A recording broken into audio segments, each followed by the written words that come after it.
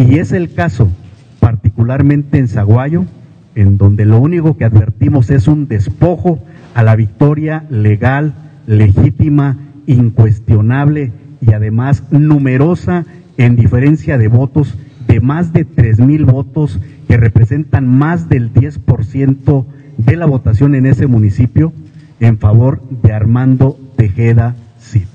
Por primera vez, después de hace mucho tiempo, el PAN habrá de iniciar una serie de acciones de resistencia civil pacífica en donde no afectemos el derecho de terceros. Y el próximo viernes a las seis de la tarde estaremos organizando una marcha pacífica también y un mitin de apoyo para Armando Tejeda en el municipio de Zaguayo. IM Noticias.